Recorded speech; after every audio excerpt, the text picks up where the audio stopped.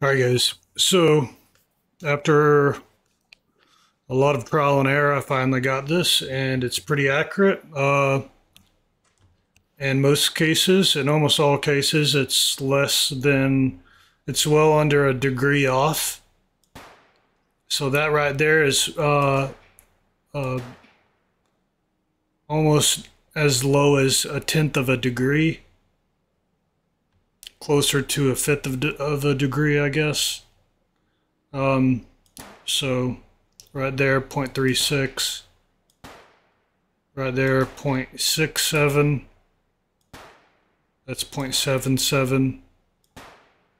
And then it drops when you start getting closer to the top.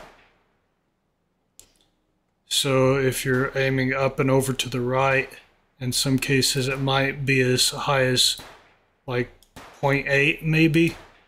Worst case scenario. 0.9, okay. So that's pretty accurate. Right here, this one's a little less accurate.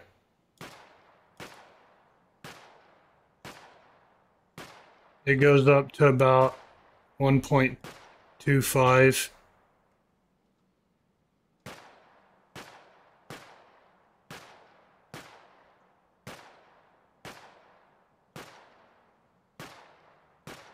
but that's still pretty accurate.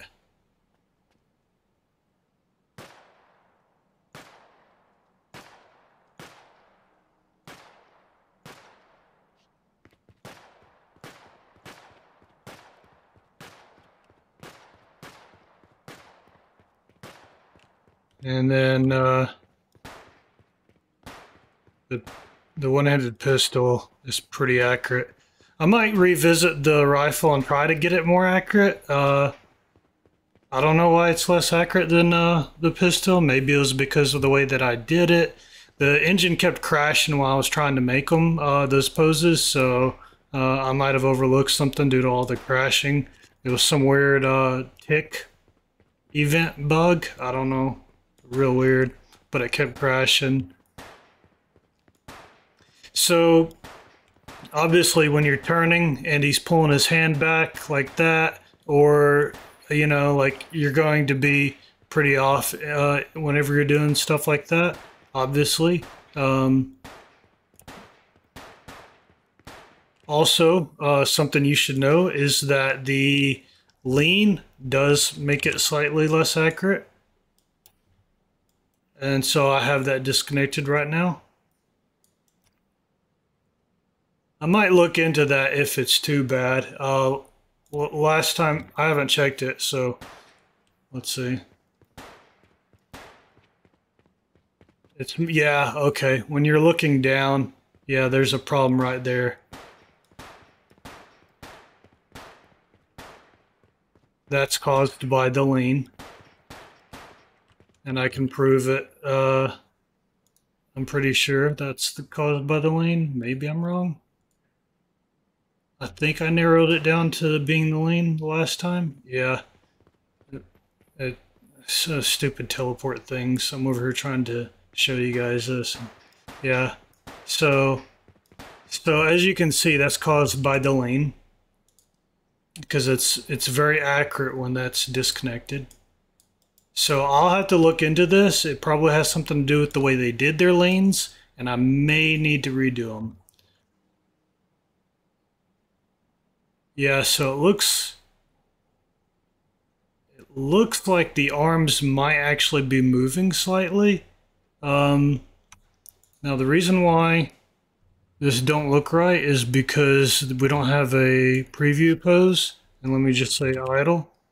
Um,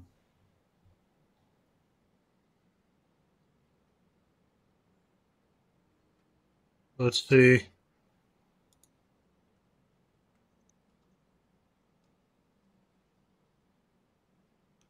Yeah, so it does look like like the hand the arms are moving in that.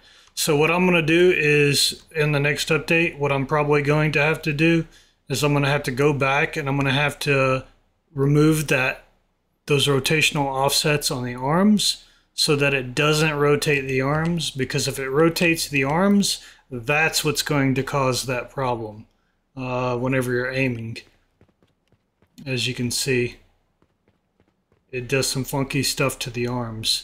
So, uh, yeah, another alternative would be to actually move that pre this, but I don't know what kind of effect. I think I tried that and I don't think it worked. I think it caused more problems. Let's try it.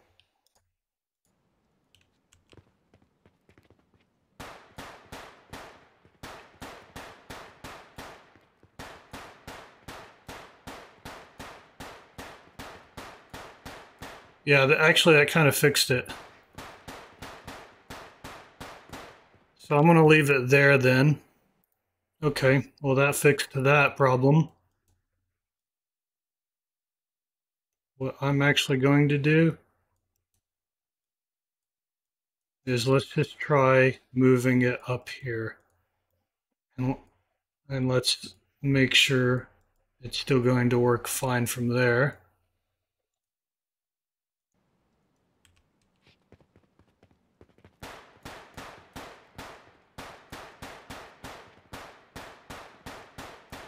Yeah, so it's still working. Uh, so that's where I'm going to leave it, guys.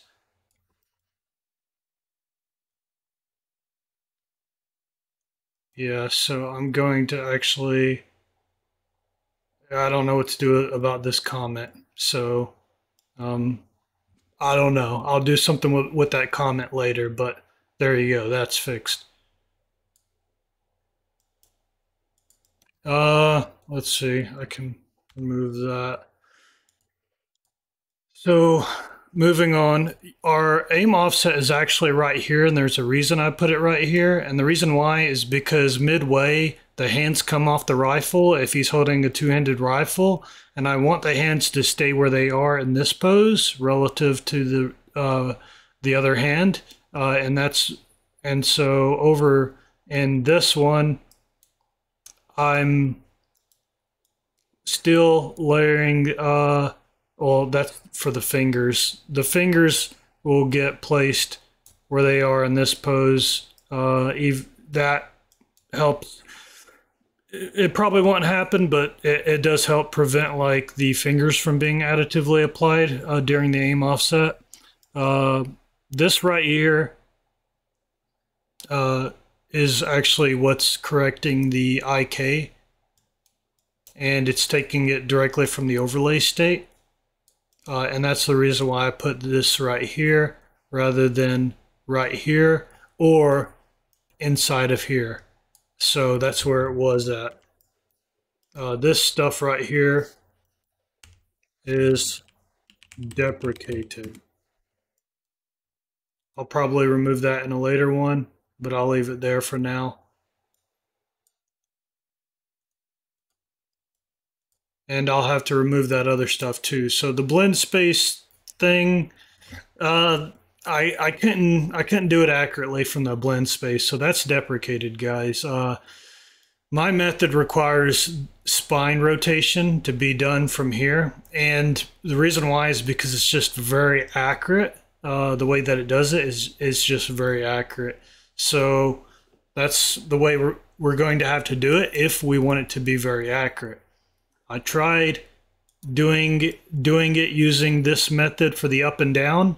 Uh, I tried to do the left to right uh, using uh, using uh, this method right here, and I got mixed results. It I may revisit that later, but this is the uh, right here. This is uh, an anim layer called pitch AO, and this is where the pitch happens.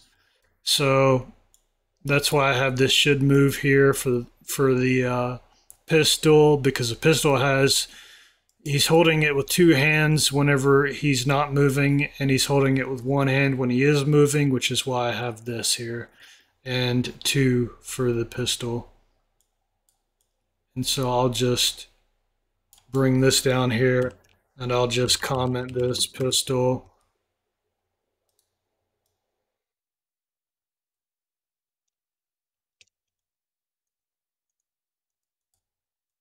And this is M4A1. And then right here, based off of that, if he wants to aim, that's only, we're only applying this when we want to aim. So as far as um, the other stuff, I should mention if you do add, if he's holding it with his right arm and you add secondary motion, if even if it's 10% secondary motion, if you add secondary motion, it's going to offset your aim offset. Uh, there's nothing I can do about that. That's just uh, how the secondary motion works. Whenever you apply it onto there, things are going to get offset um, based on the lo- underlying locomotion uh, animations. So on all of those, I turned that off. I, I just I have no secondary motion on those arms holding the weapon. Um, you can add it to the other arm if you want. Now, breathing has an effect too, so I'll go ahead and hook that back up if I can figure out where it is. Um, it looks like I forgot to remove that stuff. I'll just remove that now.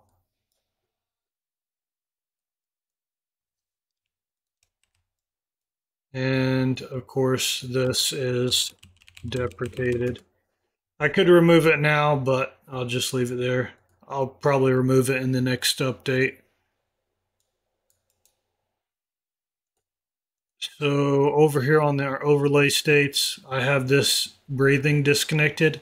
This will, a little bit, it'll offset the aim, but that's only because the hand is moving up and down. But I think that's more realistic. So, I mean, you don't want it to be perfectly accurate. See, you can you can see the hands moving up and down now. So, adding that will make it a little offset. It does look like it may be affecting it uh, in a negative way, but that's just because of the way that the uh, breathing makes his hands move. See, right there, it was almost accurate. Yeah, see. So it is pretty accurate. It's just his hands are moving around. Yeah. So... And as you can see, it doesn't make it that much more inaccurate. And it makes it more realistic. If you wanted it to make it more inaccurate, then you can just crank it up.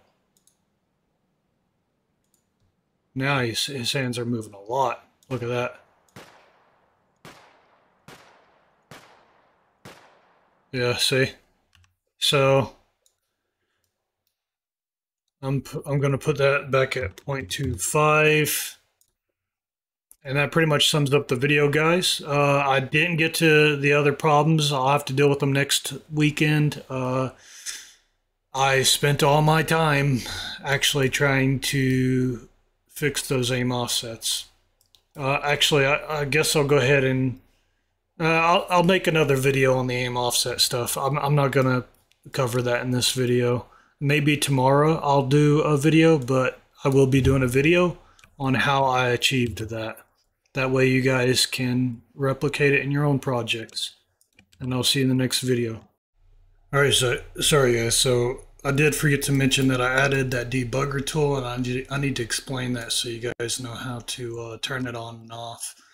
So it's in a function in here, and that function is being run on the basic projectile function, which is, so if you go to the event graph, and you go to the KD weapon add-on logic, and you look for this, you'll see the basic projectile. You can go in there, and that's where I'm using it at right there. So I kind of covered this in another video. Uh, this part right here will differ from, oh, it depends on your, your weapons really. Um, so yeah, I'm just doing a camera trace and a weapon trace. And then I offer the actual angle de degree between. That's just a straight angle. Um, and then there's the three axis uh, angle. So I'm actually going to Uh, call that three axis angle. Oh, I already uploaded it. Oh well. Uh, so in the next update, it'll be called three axis angle. Anyway, uh, no big deal. So if you go down here, you'll only see that. Okay. Well, it looks like I don't, I forgot to add the ability to turn it on and off. I thought I had added that. Okay, so I did not add that. If you want to turn it off, you're just going to have to bypass this here for now. Or you can go in there and add a add a, a, a branch right here and set up a bool so that you can turn it on and off. I thought I'd uh, set that up already, but I already pushed it. So I'll fix that in the next update. Anyway, so if you just uncheck this, then it'll give it to you in the three axis angle. If you check this, it'll be a single angle. So anyway, just thought I'd give you the rundown on that before I uh, posted the video. And I'll see you guys.